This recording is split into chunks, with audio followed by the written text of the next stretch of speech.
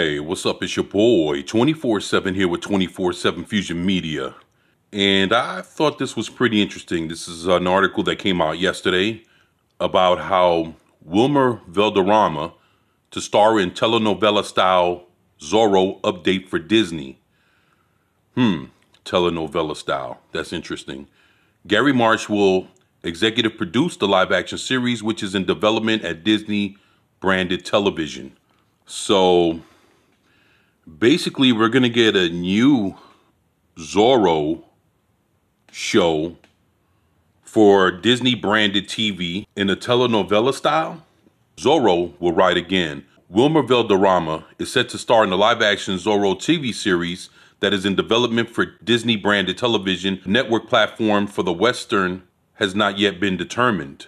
The potential series is being executive produced by Gary Marsh, the former Disney Channel president who was promoted last year to serve as creative chief at Disney branded TV. Marsh, who has developed and overseen successful franchises for Disney, including High School Musical, Lizzie McGuire, Hannah Montana, and The Descendants, in September announced he was leaving the Mouse of House at year's end after a run of three decades. Marsh will executive produce Zorro via his new producing deal with Disney.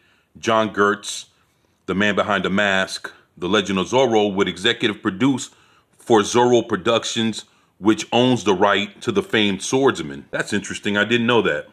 Well, I guess we learned something today, right?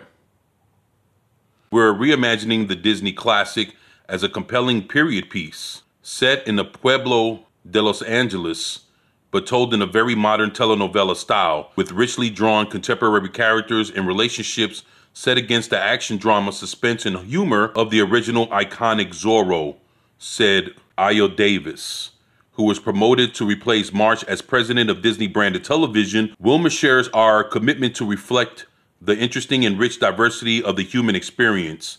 And we look forward to delivering a culturally relevant and entertaining story with the fictional characters that will connect with our viewers for generations to come.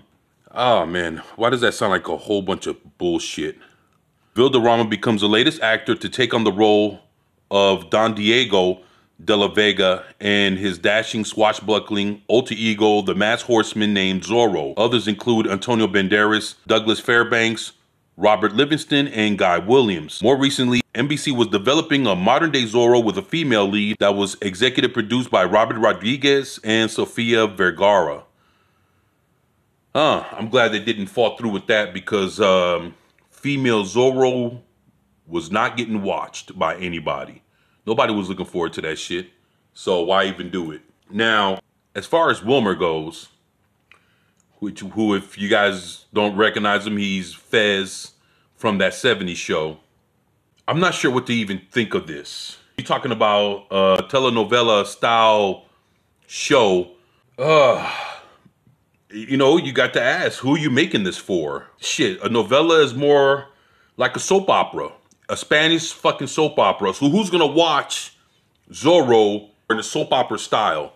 Doesn't sound too appealing to me, but if they're trying to go for Spanish speaking audience, then I guess they'll be the ones, you know, for this. As far as anybody else, I'm just not sure. Zorro's awesome. I love Zorro. I have all the Zorro movies upstairs, but you just have to think the way they're uh, they're doing this, they're targeting this, and they're trying to do a reimagining of Zorro. What is this thing really going to be? And that's my question. So that's how I feel about this shit. You guys let me know what you think about this in the comment section below. Please share, like, and subscribe if you haven't already.